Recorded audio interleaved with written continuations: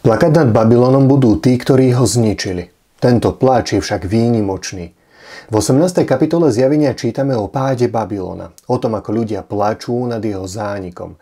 Babylon je opísaný ako bohaté mesto s veľkým vplyvom a práve tí, ktorí na ňom zbohatli, sú príčinou jeho pádu a zničenia. To oni ho uvrhli do ohňa podľa zjavenia 17.16. Sú ako rozmaznané dieťa, ktoré sa dožaduje plačom svojej hračky, ktorú si samo zničilo. Ale stúpenci Babylona darmo plačú. Oni sami sú si na vine. Pozrime sa na poučenie z tohto textu. Aby sme mm, aj my neboli v zástupe oplakávačov. Ak mám byť úprimný, tak nájsť poučenie je veľká výzva. Pretože Babylon tak, ako je opísaný v zjavení, e, ešte neexistuje. Žiaden politický ani náboženský systém nemá takú absolútnu moc a nenasleduje ho celá zem, ako je to v prípade Babylona. Prečo vravím politicko-náboženský systém? Pretože Babylon je v zjavení opísaný ako šelma, ktorá, ako žena, ktorá sedí na šelme. No a žena je v biblických proroctvách symbolom cirkvi, či už vernej alebo odpadlej, a šelma zasa symbolom kráľovstva, či politickej moci. Dnes je vo svete len jedna jediná postava, ktorá má v rukách významnú politickú i náboženskú moc a ňou je pápež keďže Vatikán je štátny útvar, v ktorom je on najvyšším panovníkom a zároveň je najvyšším predstaviteľom cirkvy. Ale jeho terajšie postavenie mm, je len tieňom toho, aké bude mať Babylon v dobe konca. Babylon je ale taktiež životný štýl. Je to život na vysokej nohe. Život nezávislého človeka. Povedal by som presne to, čím je charakteristická dnešná doba. Zjavenie opisuje tri skupiny plačúcich nad Babylonom. Sú to kráľovia zeme, obchodníci a námorníci. My sa pozrieme na tieto tri skupiny a pokúsime sa nájsť nejaké duchovné poučenie pre nás. Tou prvou sú teda kráľovia zeme, ktorí s ňou smilnili. Zjavenie 18. kapitola 9. 10. verš. Sú to politické mocnosti, predstavitelia, ktorí dali svoju politickú moc tomuto odpadlému systému. Presadzovali jeho pravidlá, jeho učenie, dokonca mu dovolili, aby ovládal myslenie ľudí a prenasledoval ich za ich vyznanie, za ich vieru. Prečo niečo také dopustili? To bola moja prvá otázka, keď som študoval tento text. No, kvôli bohatstvu a luxusu Babylona. Kvôli prísľubu ochrany a bezpečia v tých ťažkých časoch doby konca. No a nakoľko je aktuálny tento text? I dnes sme svedkami toho, ako sú schopní politici zapredať svoje hodnoty, dokonca celý štát, ak je z toho finančný profit. Je ale pre nás táto informácia nejak dôležitá? Áno je. Zbavuje nás ilúzie že raz príde celosvetová vláda, ktorá sa bude starať o blaho občanov. Žiadne tisícročné kráľovstvo pokoja na tejto zemi nebude. Králi nakoniec pochopia, že Babylon ich podviedol, oklamal a sú v nebezpečenstve a tak sa ho v zápale hnevu rozhodnú zničiť. Druhou skupinou, ktorá plače nad jeho zánikom, sú obchodníci – to sú tí, ktorí zbohatli na ekonomických aktivitách s týmto systémom. Bohatstvo Babylona, e, jeho hromadenie, bolo jednou z príčin jeho zániku.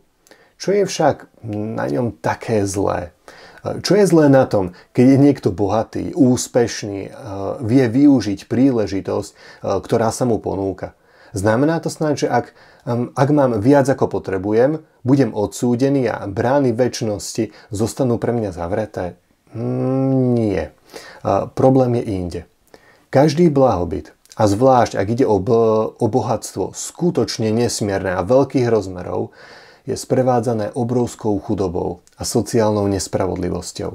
Boh od bohatých Izraelcov očakával, aby sa delili s chudobnými. Teda Boh očakáva od tých, ktorí majú dostatok, aby sa delili s tými, ktorí majú nedostatok. Ale to nestačí. Treba si uvedomiť, že naša prosperita vznikla a je udržiavaná na úkor chudoby iných ľudí. História nám ukazuje, že v staroveku i v biblických dobách, napríklad za kráľa Šalamúna, bolo veľké zdaňovanie a niekedy až vykorisťovanie ľudu. Naša doba nie je ničím iná. Ak sa pozrieme na mzdu robotníkov, ktorí vyrábajú luxusné prepichové oblečenie či auta, tak budeme zhrození. A nemusíme ísť ďaleko, Len málo ktorá vyspelá krajina vyrába produkty u seba doma. Radšej využíva ekonomiky, ekonomicky e, slabšie krajiny a nie preto, aby im pomohla, ale aby ušetrila na mzdách robotníkov.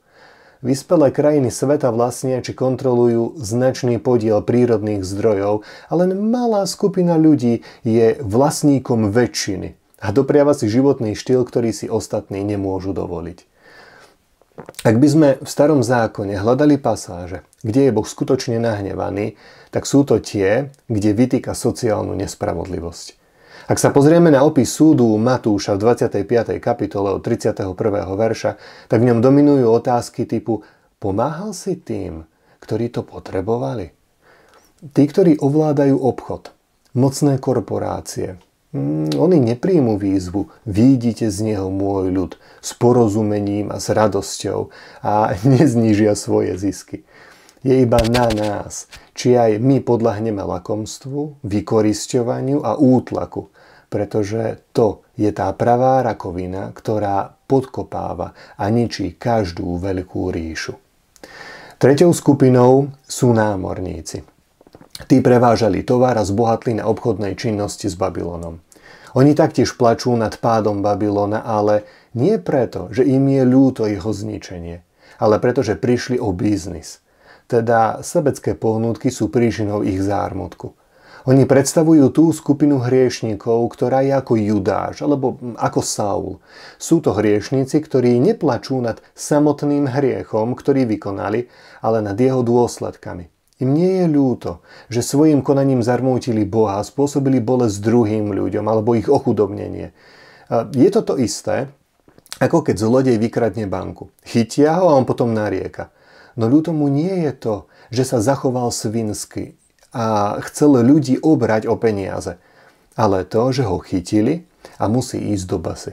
Preto, priatelia, ďalšie poučenie je premyšľajme nad príčinou nášho pokánia. Či skutočne ľutujeme svoje hriechy, alebo iba dôsledky našich hriechov. Dramatický obraz horiaceho Babylona s plačúcimi kráľmi, obchodníkmi či námorníkmi, neviem ako u vás, no u mňa u mňa budí úzkosť. Čím ďalej, tým viac si uvedomujem, ako je svet pospájaný a pád Babylonu s blížiacou sa krízou finančnou, ekologickou e, pripomína pád našej civilizácie. Čím je bližší celosvetový kolaps, tým je nám bližší tento biblický text. Predstava ekologického a ekonomického celosvetového kolapsu, ktorý je za dverami, to už viac nie je konšpiračná teória či príbeh celovečerného filmu z Hollywoodu. Predstava zničenia všetkého, čo udržujeme v krehkej rovnováhe, už nie iba dávnym zjavením biblických prorokov. Stále viac nám pripomína našu konzumnú spoločnosť, naše životné nároky, ktoré sú stále vyššie a my s nimi si pripravujeme náš vlastný pád. Babylon je mestom hriechu a ten sa nachádza v našom srdci. V ňom má Babylon svoje základy. Tam v hĺbke kútiku nášho srdca i my môžeme byť jeho občanmi. A, a tak nás tento text jednak privádza k zasľúbeniu, že Boh zničí, vykorení hriech, ale i k seba skúmaniu, či s týmto hriechom nebudem vykorenený i ja. Ak vás zaujíma viac do hĺbky, čo je to Babylon, tak video na túto tému nájdete vedľa mňa, ale taktiež i dolu v popise. Ak bol tento text, toto zamyslenie pre vás aspoň trochu požehnaním, tak nezabudnite nám dať like, prihlásiť sa na odber a ja sa zasa na vás teším pri ďalšom zamyslení.